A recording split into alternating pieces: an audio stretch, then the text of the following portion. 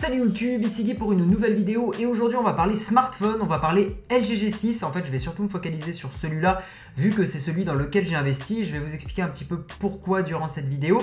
Et notamment en fait cette vidéo là ça va être l'occasion un petit peu de parler euh, de toutes les comparaisons qu'il y a eu entre le LG G6 et le Galaxy S8 parce qu'il y a pas mal de choses à dire.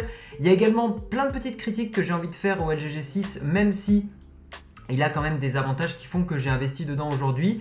Et, euh, eh ben, écoutez, c'est parti. Alors avant de commencer, je tiens à préciser que cette vidéo n'est pas un test à proprement parler, parce que bah, tout simplement des tests, vous en avez des dizaines sur le net, hein, et même des comparatifs en détail du LG G6, du Galaxy S8, avec toutes les caractéristiques techniques. Donc ça, vous faites une recherche Google et vous trouvez sans aucun problème. Aujourd'hui, c'est vraiment plutôt un retour d'expérience sur le téléphone, ou je dirais même un retour d'expérience sur la recherche et sur quel smartphone j'allais partir parce que c'est ça qui vraiment est important et je pense que pour tous ceux qui se posent des questions sur le choix entre ces deux téléphones, je pense que ça peut les éclairer. Premier truc qui m'a fait plutôt pencher vers le côté LG, c'est tout simplement la prise en main. Alors j'ai eu un Galaxy S7 Edge pendant quasiment presque, je sais pas, plus de 8 mois, 9 mois à peu près.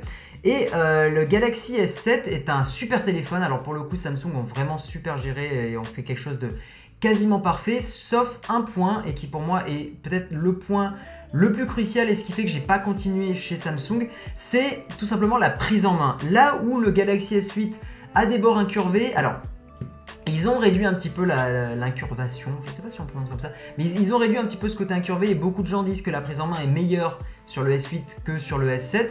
Mais Globalement, en fait, ces bords incurvés, c'est ultra joli et ça, c'est indéniable que, Samsung fait un super travail à ce niveau-là. Au niveau du design, hein, je suis complètement d'accord pour dire que le S8 est plus joli que le G6. Mais au niveau de la prise en main, et eh bien aujourd'hui, donc bon, moi j'ai toujours une coque hein, sur, les, téléphones parce que vu le prix auquel je les paye, j'ai clairement pas envie que s'ils tombent, bah, ils se pètent et que je perde énormément d'argent. Mais clairement, vu que ça fait plusieurs jours que je l'ai en main, c'est un téléphone qui me stresse pas quand par exemple je le prends de la poche euh, sans la coque parce que je l'ai pas eu immédiatement.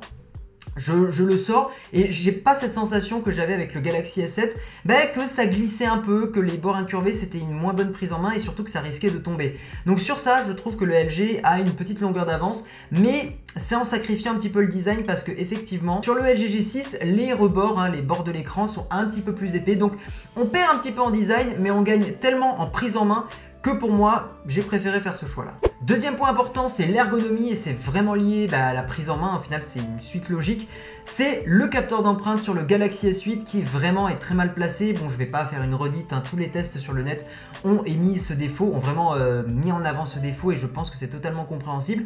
Là où sur un Galaxy S7, le capteur placé en bas était plutôt pratique, même si peut-être un peu trop en bas, c'est discutable.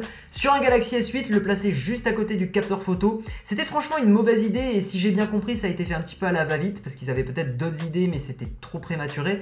Donc ils l'ont mis là et je pense que pour un smartphone haut de gamme comme ça, sacrifier une ergonomie aussi importante que le capteur d'empreinte qui est devenu une vraie habitude aujourd'hui pour déverrouiller son smartphone en moins de quelques secondes, je pense que c'était vraiment une mauvaise option et pour le coup LG est resté classique avec son positionnement à l'arrière. Hein. Ils ont été je crois une des premières marques à mettre à l'arrière le, capteur d'empreinte et je trouve aujourd'hui que c'est un choix super judicieux. Alors moi personnellement je préfère toujours quand les capteurs d'empreinte sont sur le côté comme chez Sony par exemple mais malheureusement chez Sony rien me plaisait vraiment donc voilà je me contente du capteur d'empreinte à l'arrière mais au moins celui-là il est bien positionné et le doigt il tombe nickel dessus donc pas de souci à ce niveau là. Concernant la caméra j'ai passé pas mal de temps à regarder un petit peu les comparatifs et globalement les deux smartphones ont vraiment vraiment une caméra super. Il y a des petits avantages chez le S8 notamment en très basse luminosité il y a des petits avantages au niveau du LG G6 dans la restitution des couleurs, un petit peu plus fidèle à la réalité. Mais globalement, ce sont des super capteurs photo et sur ça, que vous preniez l'un ou l'autre, il n'y aura absolument aucun souci. Là où quand même mon cœur balance un petit peu plus pour le G6, c'est qu'il y a deux capteurs. Un capteur, bon, à peu près classique, mais surtout un capteur grand angle.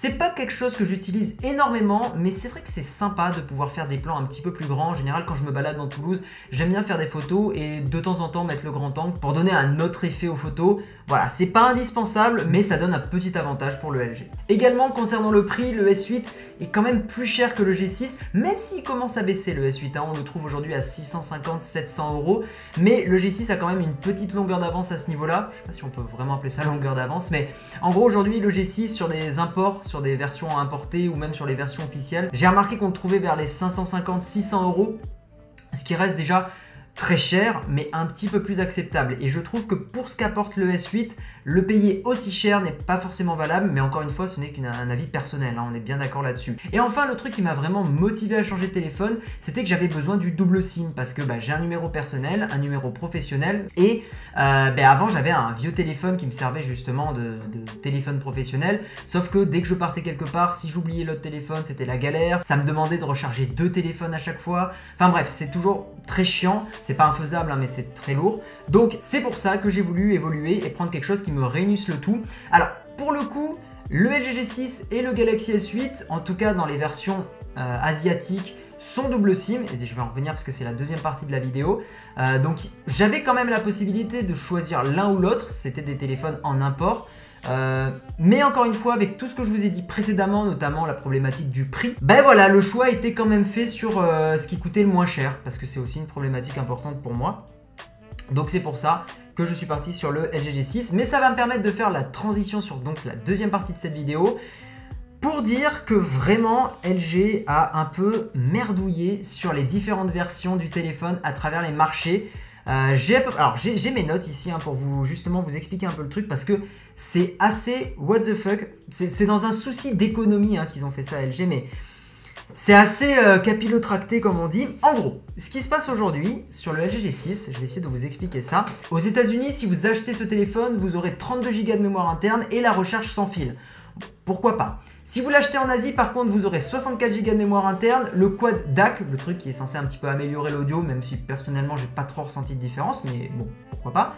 Et également, en Asie, vous aurez la possibilité d'avoir le double SIM. Et attention, ce n'est pas le cas donc aux États-Unis. Et enfin, en Europe, alors là, c'est vraiment la version complètement euh, désossée. C'est 32 Go de mémoire interne et c'est tout. Il n'y a même pas de recharge sans fil, il n'y a même pas de double SIM, il n'y a même pas de quad DAC. Donc en gros, en Europe, on se la prend un petit peu à l'envers. Bref, vous l'aurez compris avec ces différentes versions, moi j'ai la version asiatique, donc celle où il y a 64 Go de mémoire interne, le quad DAC et surtout bah, le double SIM parce que c'était vraiment mon besoin. Alors je critique LG sur le coup, mais au final Samsung fait la même chose hein, parce que la version du Galaxy S8 qui est en Europe, elle n'a pas non plus le double SIM, même si par contre elle sacrifie moins d'autres choses. C'est en ça que je reproche un petit peu la manœuvre à LG. Parce qu'à force de gratter les fonds de tiroir, on se retrouve vraiment avec un marché qui a un téléphone bah, presque dénaturé. Et enfin, pour terminer la vidéo, bah, comme je vous ai dit, ça fait déjà plusieurs jours que j'ai ce téléphone.